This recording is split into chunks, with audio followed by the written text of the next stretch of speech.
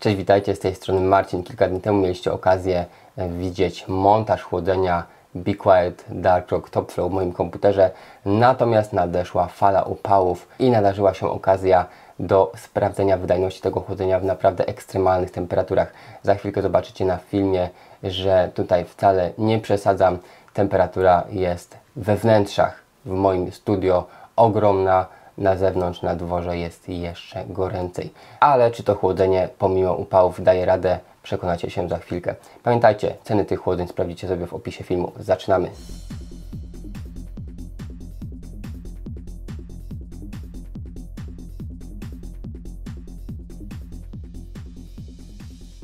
Dobrze, moi drodzy, więc jak widzicie, chłodzenie cały czas pracuje.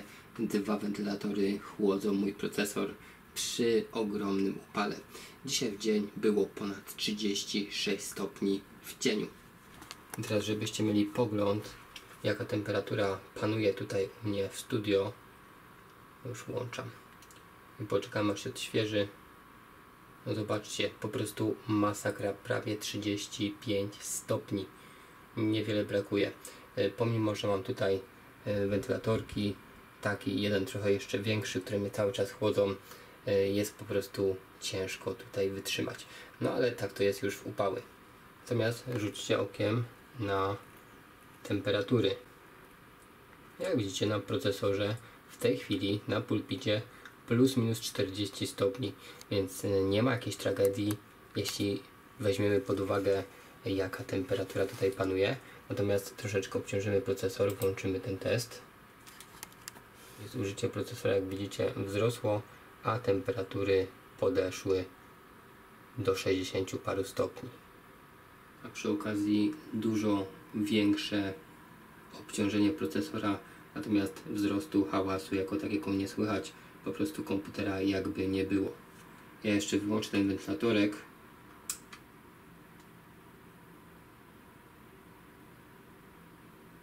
Tak więc w tej chwili słyszycie tylko i wyłącznie komputer.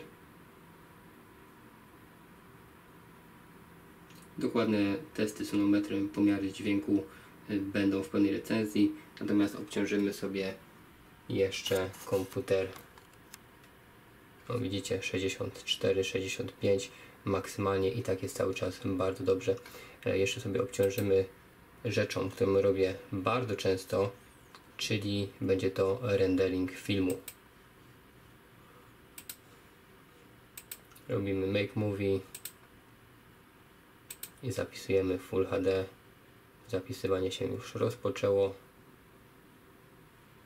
Zobaczcie rendering to jest rzecz, która mocno obciąża procesor e, natomiast nie aż tak mocno jak testy przy pomocy OCCT czy Prima natomiast swoje to robi. No i zobaczcie mamy 60 stopni w mega upale.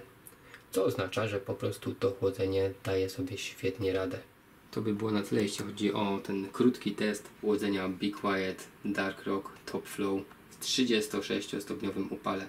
Pełna recenzja już niedługo i jest na co czekać. Pozdrawiam Was, cześć!